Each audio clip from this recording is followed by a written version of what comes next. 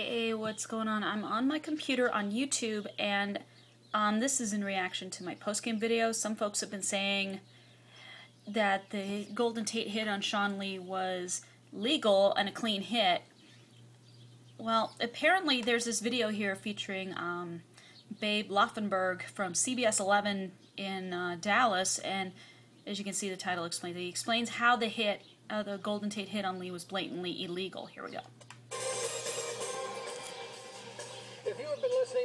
Talk Radio, you can't escape it. Was the hit on Sean Lee illegal? Unequivocally, indisputably, irrevocably, and unquestionably, the answer is yes. NFL players watch a video produced by the league's officiating office before every season with rule changes and points of emphasis. Apparently, it may not have made its way to the Great Northwest or the replacement officials, but watch closely.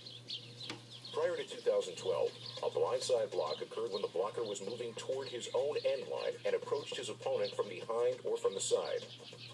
Beginning this season, the definition has been expanded to include when the blocker is moving parallel to his own end line.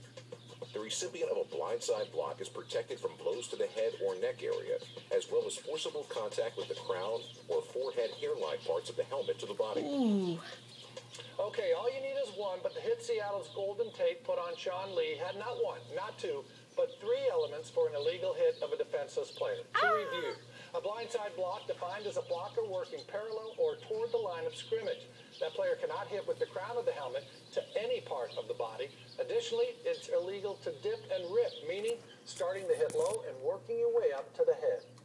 Very well said, Mr. Laufenberg. Very well said.